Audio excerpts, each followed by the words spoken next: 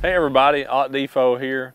One thing that I get asked about a lot fishing on the Bassmaster Elite Series on Major League Fishing is how I change my treble hooks so fast on a crankbait, like the Storm, Arashi, Square 5.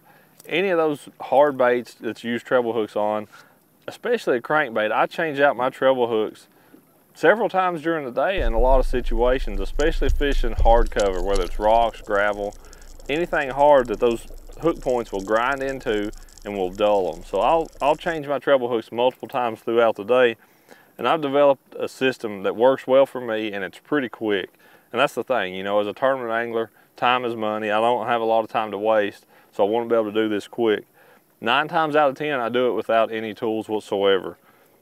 I just take my thumbnail and go to that opening on the split ring, pry it open and start that first hook off. You never want to take that first hook all the way off. You want to just start it open and then slide it back just a little bit, a 16th or an eighth of an inch, where it holds that open real nice.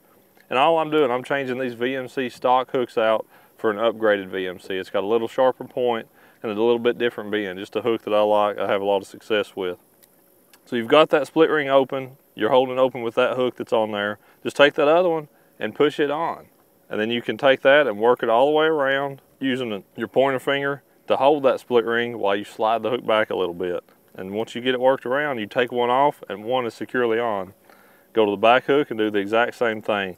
Once you get this down, I mean, I can change both treble hooks out on a hard bait 30 seconds flat. Once I've got the hooks out there, I've got them on that bait, even talking through it, I do it in no time at all. So that's the whole deal, you know, opening that split ring up and sliding that hook on while you're pushing the other one off. Never never take that hook all the way off and then and then reapply the other one. You're just making it a lot harder on yourself. So